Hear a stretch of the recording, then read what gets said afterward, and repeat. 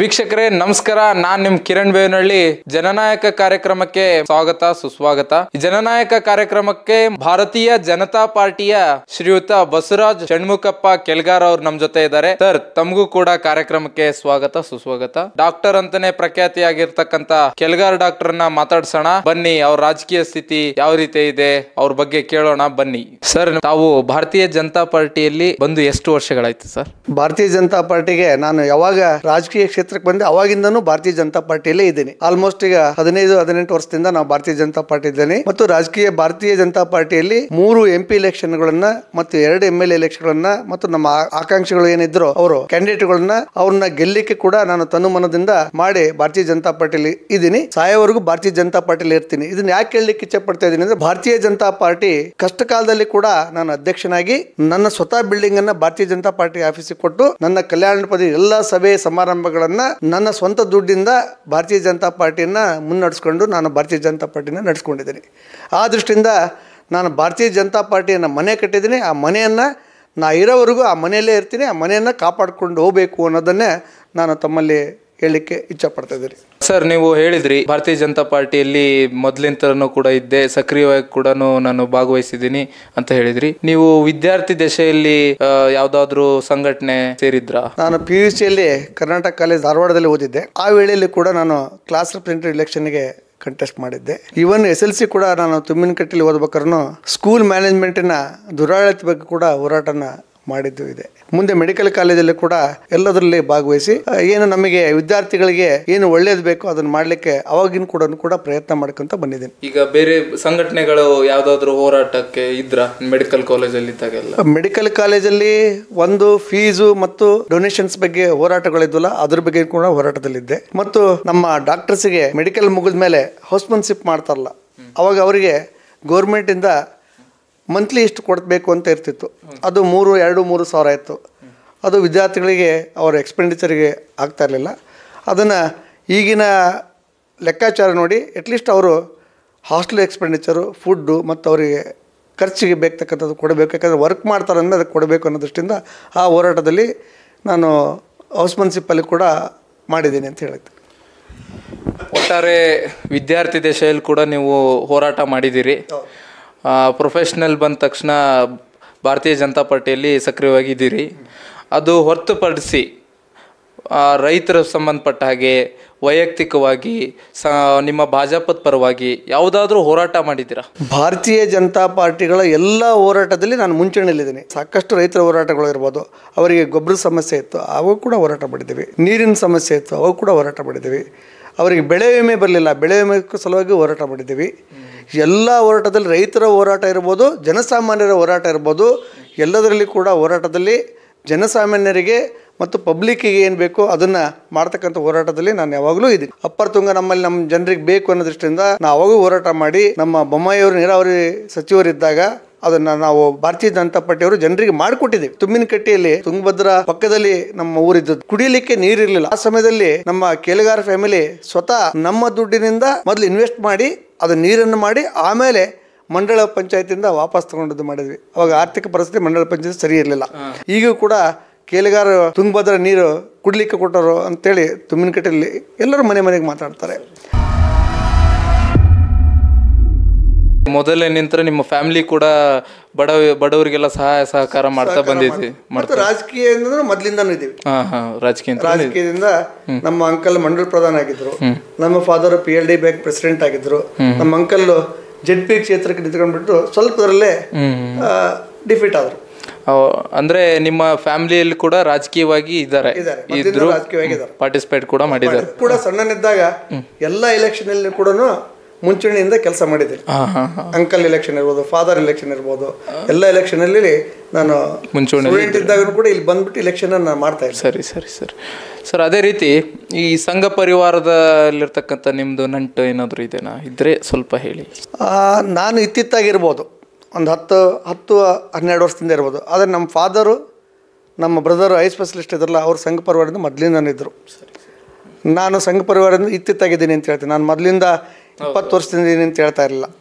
ನಾನು ಇತ್ತಿತ್ತಾಗ ನನ್ನ ಸಂಬಂಧ ಹತ್ತರಿಂದ ಹನ್ನೆರಡು ವರ್ಷ. ಅದಕ್ಕಿಂತ ಮೊದಲು ನಮ್ಮ ಫಾದರು ಸಂಘ ಪರಿವಾರದಲ್ಲಿ ಜೊತೆಗೆ ಇರ್ತಿದ್ರು ಜೊತೆಗೆ ಕೆಲಸ ಮಾಡ್ತಿದ್ರು. ಅದು ನನಗೆ ಗೊತ್ತಿದೆ. ಅವರೆಲ್ಲ ಮೀಟಿಂಗು ಹೋಗ್ತಿದ್ರು ಎಲ್ಲ ಮಾಡ್ತಿದ್ರು.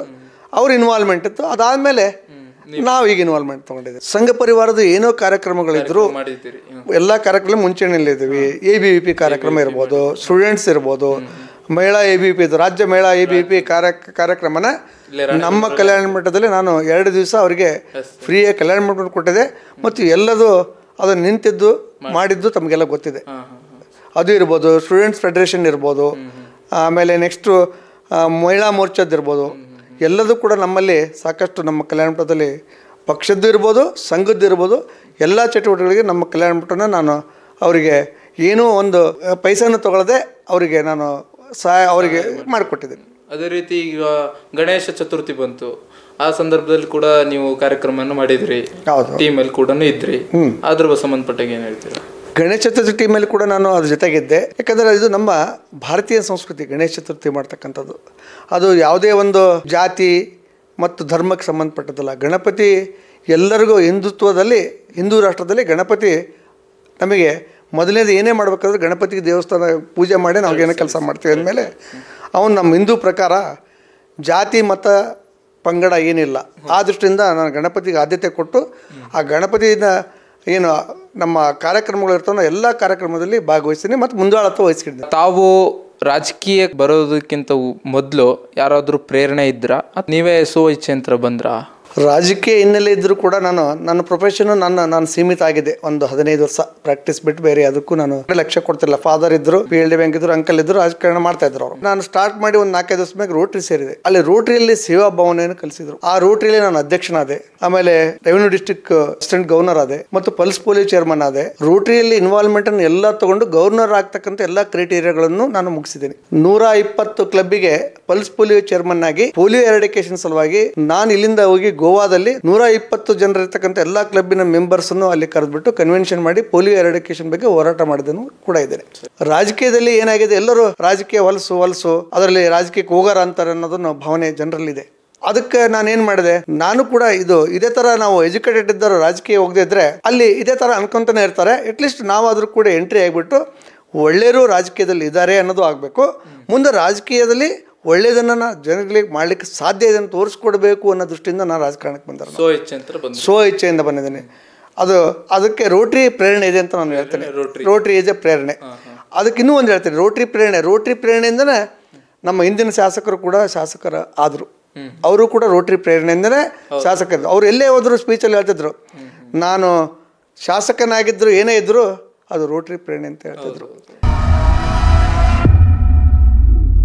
ಸರ್, ಭಾರತೀಯ ಜನತಾ ಪಾರ್ಟಿಯಲ್ಲಿ ಸುಮಾರು ಜನ ಆಕಾಂಕ್ಷಿಗಳಿದ್ದಾರೆ. ತಾವು ಒಬ್ರು ಅಂತ ಕೇಳ್ಪಟ್ವಿ. ಅದು ನಿಜಾನಾ ಸರ್? ತಾವುಗಳು ಹೇಳದಂಗೆ ಹದಿನಾರು ಜನ ಇದೆ. ಹದಿನಾರು ಜನ ಇದ್ರು ಕೂಡ ನಾವು ಎಲ್ಲ ಭಾರತೀಯ ಜನತಾ ಪಾರ್ಟಿ ಕಾರ್ಯಕ್ರಮಗಳನ್ನು ಯಾವುದೇ ಇದ್ರು ಕೂಡ ಹೋರಾಟ ಇರ್ಬೋದು, ಸಂಘಟನೆ ದೃಷ್ಟಿಯಿಂದ ಇರ್ಬೋದು, ಸಂಕಲ್ಪ ಯಾತ್ರೆ ಇರ್ಬೋದು, ಪರಿವರ್ತನೆ ಯಾತ್ರೆ ಇರ್ಬೋದು, ಎಲ್ಲರೂ ಕೂಡಿ ನಾವು ಮಾಡಿದ್ವಿ ಹದಿನಾರು ಜನ ಆಕಾಂಕ್ಷೆ ಅನ್ನೋದನ್ನ ಬೇರೆ ಏನೇನೋ ಬಿಂಬಿಸ್ತಾರೆ. ತಾಲೂಕಿನ ತುಂಬಾ ನನಗೆ ಗೊತ್ತಿದ್ದಂಗೆ ಹದಿನಾರು ಜನ ಇದ್ದಾರೆ. ಅದರಲ್ಲಿ ಯಾರು ಒಮ್ಮತ ಇಲ್ಲ ಅನ್ನೋದನ್ನ ಹೇಳ್ತಾರೆ. ಖಂಡಿತವಾಗಿ ಆ ಥರ ಇಲ್ಲ.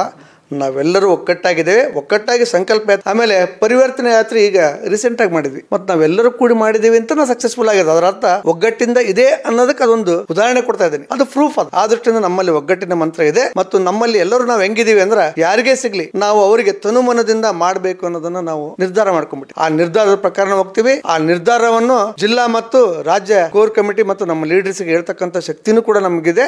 ನಾವು ಅದನ್ನು ಹೇಳಿ ಬರ್ತೀವಿ. ಮತ್ತು ನಾವು ನಮ್ಮಲ್ಲೇ ಸ್ಥಳೀಕರಿಗೆ ಕೊಡಿ. ನಾವು ಹದಿನಾರು ದಿನದಲ್ಲಿ ನಾವು ಸಾಕಷ್ಟು ಪಕ್ಷ ಬೆಳೆಸಲಿಕ್ಕೆ ತನುಮನದಿಂದ ಮಾಡಿದ್ದೇವೆ ಅಂದಮೇಲೆ ನಮಗೆ ಸ್ಥಳೀಕರಿಗೆ ಕೊಟ್ಟರೆ ನಾವು ಯಾರಾದರೂ ಗೆಲ್ಸ್ಕೊಂಬಂದಿರ್ತೀವಿ ಖಂಡಿತವಾಗಿ ಭಾರತೀಯ ಜನತಾ ಪಾರ್ಟಿ ಗೆಲ್ಸ್ಕೊಂಬರೋದು ನಮ್ಮೆಲ್ಲರದು ಆದ್ಯ ಕರ್ತವ್ಯ ಅಂತ ನಾವು ಹೇಳಲಿಕ್ಕೆ ನಾವು ಹೊರಟಿದ್ದೇವೆ. ಸರ್, ತಮಗೆ ನೇರವಾದ ಪ್ರಶ್ನೆ, ನೇರವಾಗಿ ಹೇಳಿ ಸರ್.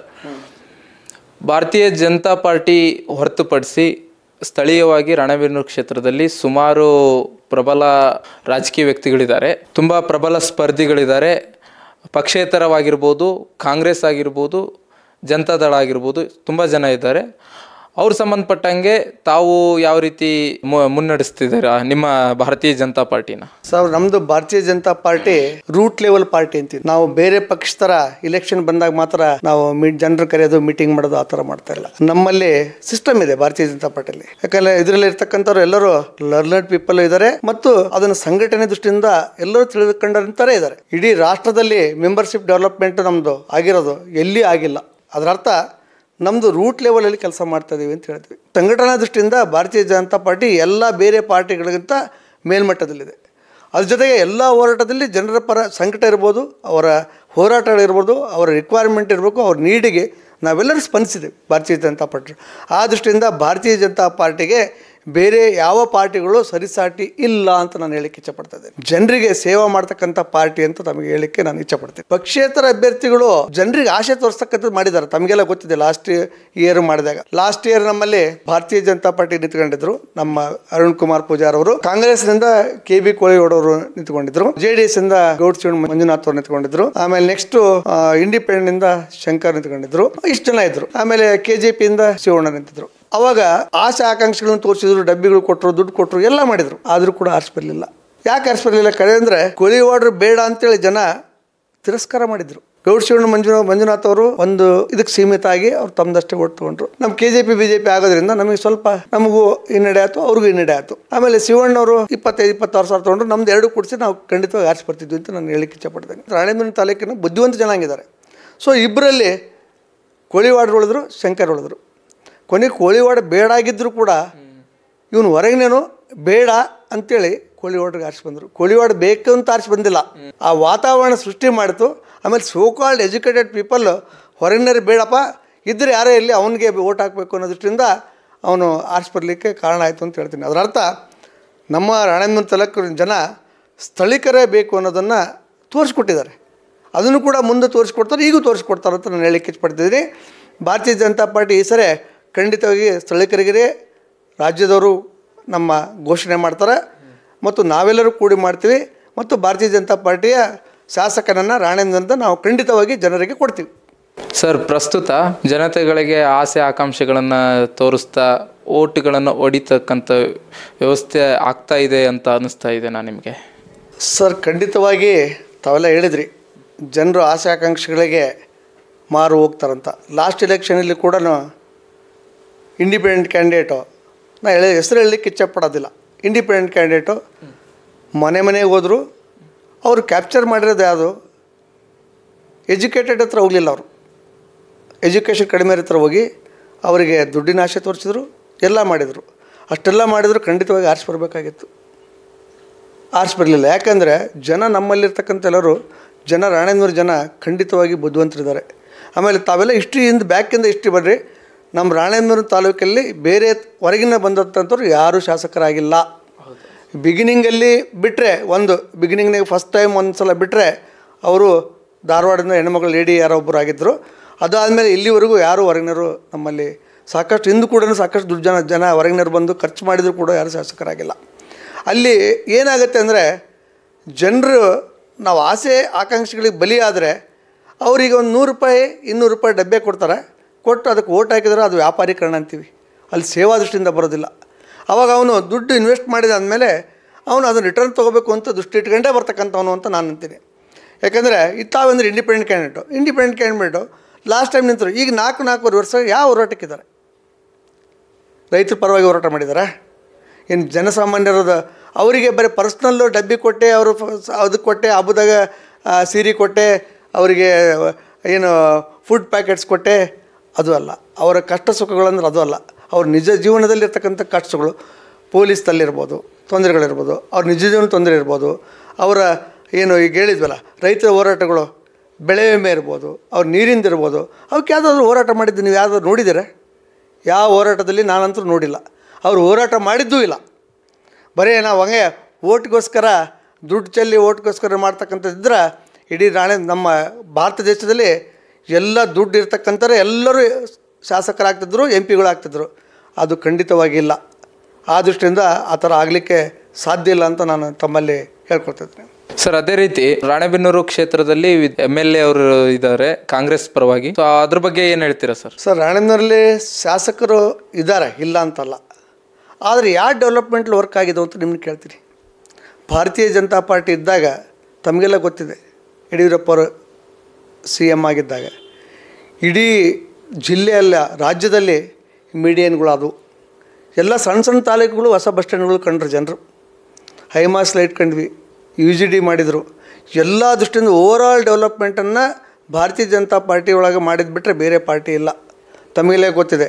ಭಾಗ್ಯಲಕ್ಷ್ಮಿ ಯಾರು ಮಾಡಿದೆ ಸರ್? ಭಾಗ್ಯಲಕ್ಷ್ಮಿ ಯೋಜನೆ ಇರ್ಬೋದು. ಹುಡುಗರಿಗೆ ಸೈಕಲ್ ಕೊಡ್ತಕ್ಕಂಥ ಇರ್ಬೋದು. ಅಂದರೆ ಇನ್ ಆಲ್ ರೆಸ್ಪೆಕ್ಟ್ ಎಜುಕೇಷನ್ ಇರ್ಬೋದು ಹೆಣ್ಮಕ್ಳು ಮುಂದಿನ ಜೀವನದನ್ನು ಅವ್ರ ಫ್ಯೂಚರ್ ಜೀವನನ ಯೋಚನೆ ಮಾಡಿಬಿಟ್ಟು ಆ ಎಜುಕೇಷನ್ ಕೊಡ್ತಕ್ಕಂಥದ್ದು, ಭಾಗ್ಯಲಕ್ಷ್ಮಿ ಯೋಜನೆ ಕೊಡ್ತಕ್ಕಂಥದ್ದು ಕೂಡ ಮಾಡಿದ್ದಾರೆ. ಇದೆಲ್ಲ ನೋಡಿದರೆ ಭಾರತೀಯ ಜನತಾ ಪಾರ್ಟಿ ಇದ್ದಾಗಂತ ಕೆಲಸ ಮಾಡಿದಂಥ ಕಾರ್ಯಕ್ರಮಗಳು ಯಾವುದಲ್ಲ? ಇವರೇನೇ ಕಾಂಗ್ರೆಸ್ ಬಂದರೂ ಭಾರತೀಯ ಜನತಾ ಪಾರ್ಟಿ ಇದ್ದಾಗ ಏನಿದ್ವು? ಅವನ್ನ ಉದ್ಘಾಟನೆ ಮಾಡ್ಕೊತ ಹೋಗಿದ್ದಾರೆ ಅವನ ಯಾವ ಹೊಸ ಕಾರ್ಯಕ್ರಮಗಳಿಲ್ಲ. ರಾಣೆಮ್ನಲ್ಲಿ ತಮಗೆಲ್ಲ ಗೊತ್ತಿದೆ. ಯಾವ ಡೆವಲಪ್ಮೆಂಟ್ ವರ್ಕ್ ಆಗಿದೆ? ತಮಗೆಲ್ಲ ಗೊತ್ತಿದೆ. ಹಿಂದೆಲ್ಲ ಕಾಂಗ್ರೆಸ್ ತಾವು ಆಡಳಿತ ಬರಬೇಕು ಅಂತೇಳಿ ಏನು ನಮ್ಮಲ್ಲಿ ಡೆವಲಪ್ಮೆಂಟ್ ಚಾರ್ಜ್ ಇತ್ತು. ಅದನ್ನು ವೇ ಆಫ್ ಮಾಡ್ತೀವಿ ಅಂದರು ಕಡಿಮೆ ಮಾಡ್ತೀವಿ ಅಂದರು. ತಮಗೆಲ್ಲ ಗೊತ್ತಿದೆ. ಕಡಿಮೆನೂ ಮಾಡಲಿಲ್ಲ ಇನ್ನು ಜಾಸ್ತಿ ಮಾಡಿದರು. ಇಲ್ಲಿ ಕಟ್ಸ್ಕೊಳದ ಅಲ್ಲಿ ಪ್ರಾಧಿಕಾರದ ಕಟ್ಸ್ತಕ್ಕಂಥ ಮಾಡಿದರು. ಮತ್ತು ಅದು ಕಟ್ಸ್ತಕ್ಕಂಥದ್ದು ಮಾಡಿದರು ಮತ್ತು ಗಾರ್ಡನ್ ಫೀನ ಜಾಸ್ತಿನೂ ಕೂಡ ಮಾಡಿದರು. ಆಮೇಲೆ ನೀರಿಂದು ಕರನೂ ಜಾಸ್ತಿ ಮಾಡಿದರು. ಎಲ್ಲ ಟ್ಯಾಕ್ಸ್ಗಳನ್ನು ಜಾಸ್ತಿ ಮಾಡಿದ್ದಾರೆ ವಿನ ಆಮೇಲೆ ತಮಗೆಲ್ಲ ಗೊತ್ತಿದ್ದಂಗೆ ಕೆಲವೊಂದು ಬಡಾವಣೆಗಳಿದ್ವು ಅವನ್ನೆಲ್ಲ ಸರಿ ಮಾಡ್ತೀವಿ ಅಂಥೇಳಿ ಓಟ್ ಹಾಕ್ಸ್ಕೊಂಡಿದ್ದಾರೆ. ಆದರೆ ಇಲ್ಲಿವರೆಗೂ ಕೂಡ ಯಾವುದೂ ಆಗಿಲ್ಲ. ಸೊ ಬರೀ ಮೂಗಿಗೆ ತುಪ್ಪ ಹಚ್ಚತಕ್ಕಂಥ ಕೆಲಸ ಮಾಡ್ತಾ ಇದ್ದಾರೆ ವಿನ ಯಾವುದನ್ನು ಕಾರ್ಯರೂಪದಲ್ಲಿ ಬರ್ತಾ ಇಲ್ಲ ಅಂತ ಗೊತ್ತಿದೆ. ಅದ್ರ ಜೊತೆಗೆ ತಮಗೆ ಗೊತ್ತಿದ್ದಂಗೆ ಕಾಂಗ್ರೆಸ್ ಆಡಳಿತ ಬಂದ ಮ್ಯಾಗ ಇಡೀ ರಾಜ್ಯದಲ್ಲಿ ಮಳಲು ಮುಕ್ತ ಆಗಿದೆ ರಾಣೆನ್ನೂರು ಕೂಡ ಮಳಲು ಮುಕ್ತ ರಾಣೇಂದ್ರಾಯಿತು ನಾವು ನದಿ ದಂಡೆಯಲ್ಲಿರ್ತಕ್ಕಂಥ ಎಲ್ಲ ಹಳ್ಳಿ ಕೂಡ ಕೂಡ ಅವ್ರ ಮನೆ ಒಂದು ಕಟ್ಟಬೇಕಂದ್ರೆ ಅವ್ರಿಗೆ ಮಳೆ ಸಿಗ್ಲಂಗೆ ಆಯ್ತು. ಇಡೀ ರಾಣೆನ್ನೂರು ತಾಲೂಕಿನಲ್ಲಿ, ಅದು ಎಸ್ಪೆಷಲಿ ರಾಣೆನ್ನೂರಲ್ಲಿ ಸಾಕಷ್ಟು ಜನ ಕೆಲಸಗಾರಿದ್ರು, ಟೈಲ್ಸ್ ಹಾಕರ್ ಇರ್ಬೋದು, ಬಿಲ್ಡಿಂಗ್ ಕಟ್ತಕ್ಕಂಥ ಇರ್ಬೋದು. ಎಷ್ಟು ಸಣ್ಣ ಜನರಿಗೆ ಅವರು ಊರು ಬಿಟ್ಟು ಹೋಗೋಂಥ ಪ್ರಸಂಗ ಬಂತು. ಗೋವಾಕ್ಕೆ ಹೋದರು, ಕೆಲವರು ಬೆಂಗಳೂರಿಗೆ ಹೋದರು. ಎಲ್ಲ ಹೆಂಡ್ತಿ ಮಕ್ಕಳು ಬಿಟ್ಟು ತಮ್ಮ ಎಜುಕೇಷನ್, ತಮ್ಮ ಮನೆಗಳನ್ನು ಬಿಟ್ಟು ದುಡಿಲಿಕ್ಕೆ ಎಲ್ಲೆಲ್ಲೋ ಹೋಗಿ ಯಾವಾಗ ಒಂದು ಸಲ ಹದಿನೈದು, ಎರಡು ತಿಂಗಳು, ಮೂರು ತಿಂಗಳು ಬಂದು ತಮ್ಮ ಮಕ್ಕಳನ್ನ ಮತ್ತು ಅವರ ಮನೆಯವ್ರನ್ನ ನೋಡ್ತಕ್ಕಂಥದ್ದು ಆಯಿತು. ಅಂದರೆ ಜನರಿಗೆ ಎಷ್ಟು ಕಷ್ಟ ಆಗಿದೆ ನದಿ ಬೆಲ್ಟ್ ನಾವು ಪಕ್ಕದಲ್ಲಿದ್ದೂ ನಮಗೆ ಮಳೆ ಸಿಗಲಿಲ್ಲ ಅಂದರೆ ಹಂಗಾರೆ ಮಳಲು ಎಲ್ಲೂ ಹೋಯ್ತು ಈ ಸಮಸ್ಯೆ ಬರುತ್ತೆ. ಮಳಲು ಎಲ್ಲೋಯ್ತು ಹೋಯ್ತು. ಮಳಲಂತೂ ಬಂದೇ ಬರುತ್ತೆ ನದಿಯಲ್ಲಿ. ಆ ಮಳಲು ಎಲ್ಲಿ ಹೋಗ್ಬೇಕಾ? ಹೋಗಿದೆ. ಅಂದರೆ ಮಳಲು ಮಾರಾಟ ಆಗಿದೆ ವಿನ ಜನರಿಗೆ ಮಳಲು ಸಿಕ್ಕಿಲ್ಲ.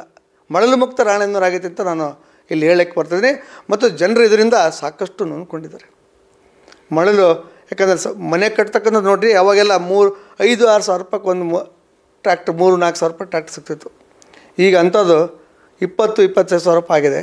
ಯಾರು ಸಾಮಾನ್ಯ ಜನರು ಮನೆ ಕಟ್ಟಲಿಕ್ಕೆ ಸಾಧ್ಯನೂ ಕೂಡ ಇಲ್ಲ. ಆಮೇಲೆ ಈಗೆಲ್ಲ ಎಂ ಸ್ಯಾಂಡ್ ಉಪಯೋಗಿಸ್ತಾರೆ. ಇದನ್ನು ಎಂ ಸ್ಯಾಂಡ್ ಮೊದಲಿಂದನೂ ಮಳೆ ನಮ್ಮಲ್ಲಿದೆ, ಮಳೆ ಸಿಗ್ತಾ ಇತ್ತು. ಇದೇನು ಮಾಡಿದ್ದಾರೆ?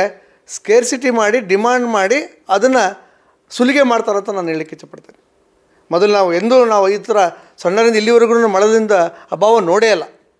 ಇದು ಕ್ರಿಯೇಟೆಡ್ ಅಂತ ನಾನು ಹೇಳಲಿಕ್ಕೆ ಇಚ್ಛಪಡ್ತೀನಿ.